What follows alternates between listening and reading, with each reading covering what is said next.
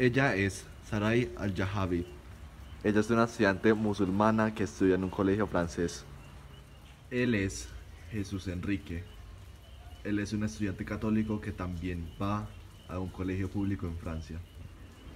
Estos dos estudiantes desean expresarse libremente dentro de su colegio, a través de sus prendas de vestir y de sus símbolos religiosos. Lastimosamente, el gobierno francés no lo desea y los quiere que estén así. Es claro cómo estos estudiantes han sido despojados de sus derechos. Este es Pierre Montesquieu, un ateo en el colegio francés. ¡Tú eres un terrorista! Leyes como esta promueven el irrespeto entre los estudiantes.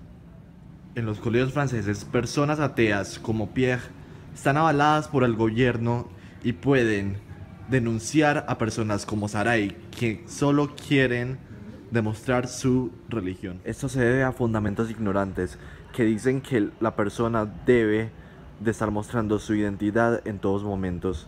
Aunque parezca una consigna de seguridad nacional, es debatible ya que las personas deberían tener la oportunidad de expresar libremente su religión.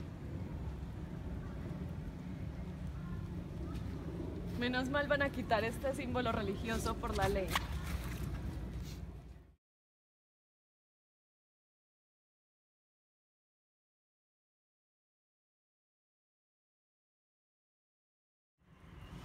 El secularismo, muchas veces promovido por el ateísmo y los gobiernos, afecta la vida de fe, golpea a la familia y debilita a los cristianos, a los musulmanes y todos aquellos que quieran demostrar su libertad religiosa.